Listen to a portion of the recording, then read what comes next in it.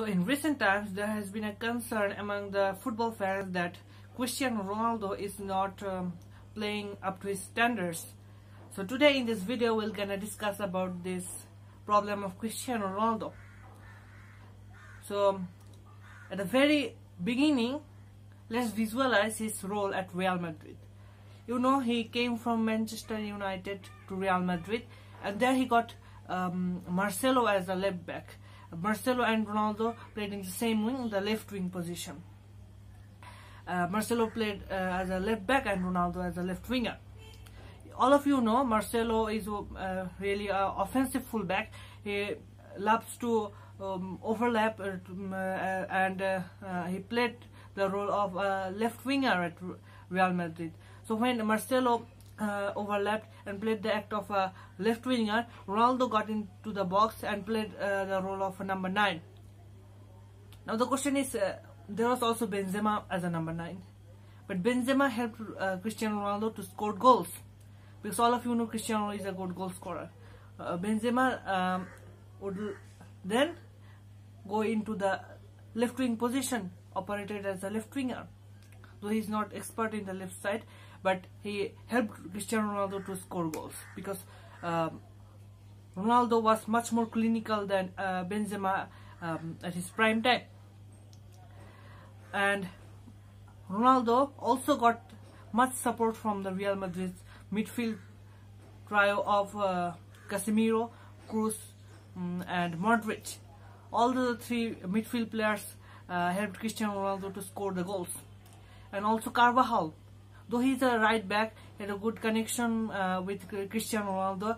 Um, uh, he and Marcelo both delivered crosses and passes to Cristiano Ronaldo to score uh, some amazing goals. So now look, Cristiano Ronaldo got support from um, Real Madrid's uh, whole positioning player like uh, le uh, left back Marcelo, um, Benzema, Bale, Carvajal, uh, and three midfielders, Kroos, Casemiro and Modric. So he got help from all the sides. And by this process, he became one of the Madrid legends by scoring many goals.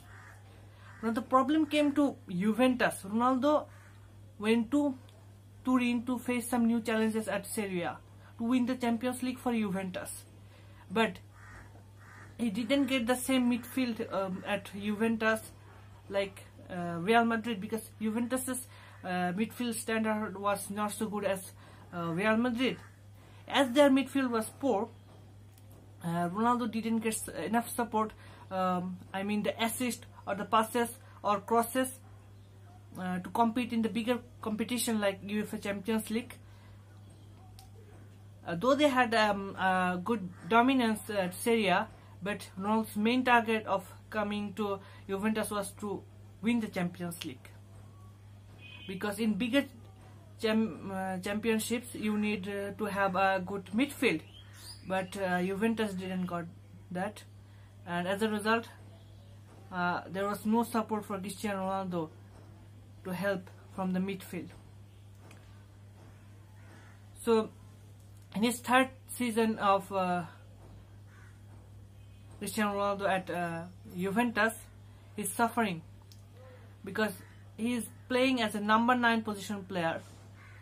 And as a number 9 you need to have enough support from the midfield or from the fullbacks but he is not getting. He's also suffering uh, in the Portugal national team. So now the question is is Ronaldo finished? No he is not finished. He can be used perfectly if the midfield standard of uh, Juventus can be upgraded.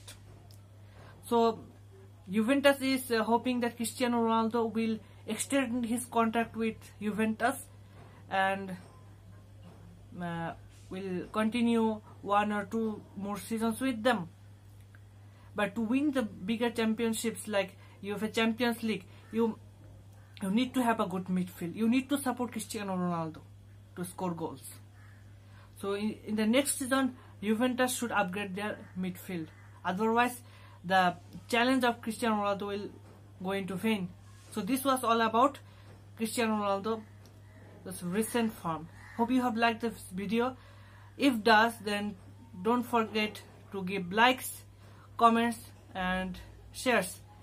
and thanks to those guys um, who have already subscribed our channel and I would like to request you to subscribe this channel. Thank you for watching this video. Uh, see you in the next episode. Till then, very goodbye.